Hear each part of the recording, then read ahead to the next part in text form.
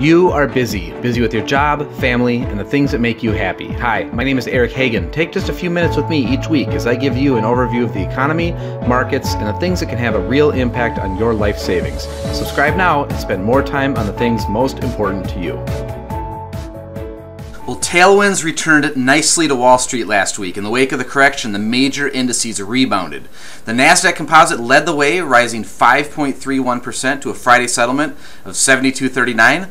Bulls also sent the Dow Industrials and the S&P 500 much higher. The Dow gained four and a quarter percent on the week to 25,219, while the S&P rose 4.3 percent to 2732. The VIX volatility index is certainly on a wild ride. It fell 33.5% across last week to 19.32, but remained up over 75% year to date. In the commodity sector, oil staged a notable comeback, rallying 4.2% in five days to finish the week at $61.68 a barrel on the NYMEX. So the consumer price index rose a half of a percent in January alone, its greatest month over month advance since January of 2017.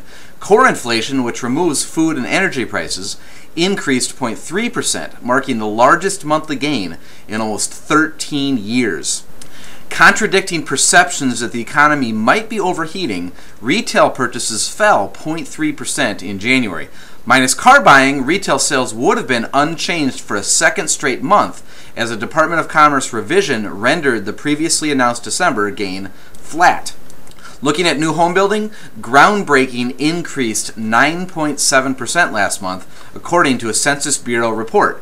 The first month of the year also brought a 7.4% rise in building permits. So, looking at this week, of course, yesterday, Monday, was President's Day. The financial markets were closed.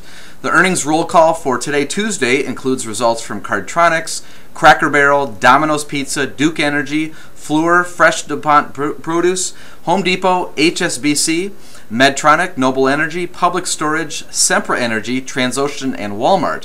Tomorrow, on Wednesday, Wall Street considers January existing home sales, minutes from the Federal Reserve's January policy meeting, and earnings from Avis Budget Group, Cheesecake Factory, Dish Network, Garmin, Kaiser Aluminum, Owens Corning, Pandora, Roku, Sunoco, and Wendy's. A new initial jobless claims report arrives on Thursday, plus earnings from Bloomin' Brands, Chesapeake Energy, Edison International, First Solar, GoDaddy, Herbalife, HP, Hormel, Intuit, Planet Fitness, Wayfair, and Wingstop.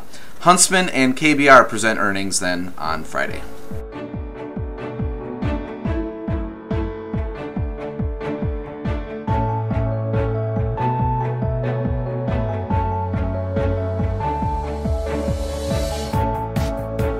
Hey, this is Eric again. That's it for today. Don't forget to subscribe before you leave.